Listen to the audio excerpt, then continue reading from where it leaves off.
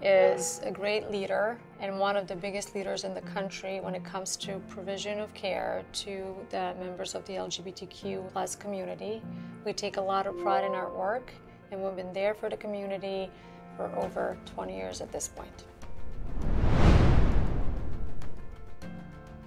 But the most important reason why somebody um, who is considering transition uh, would want to consider fertility preservation is if there is a consideration for surgical treatment or gender affirming surgery. These individuals would not be able to have biological children in the future.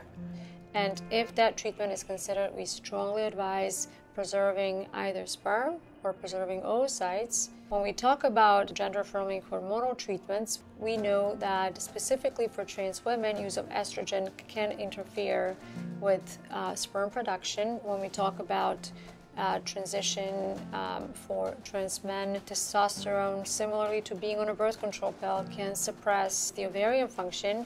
The official recommendations are still to stop that gender affirming hormonal treatment for purposes of uh, preserving fertility.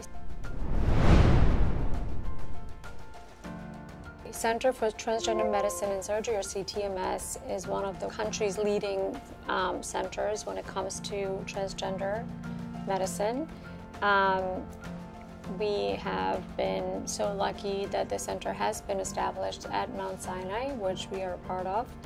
And the center has over 200 employees spanning many different clinical and surgical specialties from endocrinology to reproductive endocrinology, urogynecology, surgery, urology, uh, psychology, psychiatry, and so forth. And so, what uh, this center really provides is, in, is a paramount at the level of the entire country when it comes to providing care to trans individuals who are interested in gender affirming treatments.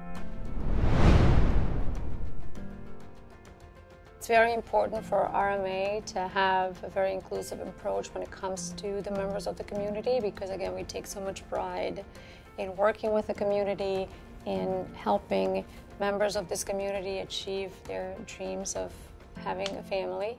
Once or twice a year, we usually have a training for all of our employees, doctors, nursing staff, administrative staff, literally everybody from the person at the front desk to the surgeons, where usually um, one of the people involved at the Center for Transgender Medicine and Surgery will come and talk to us and educate us on appropriate terms to use, on appropriate pronouns to use, on um, types of sexuality, types of types of sexual attraction, so that we don't make mistakes that can be very hurtful and painful for some of the members of the community.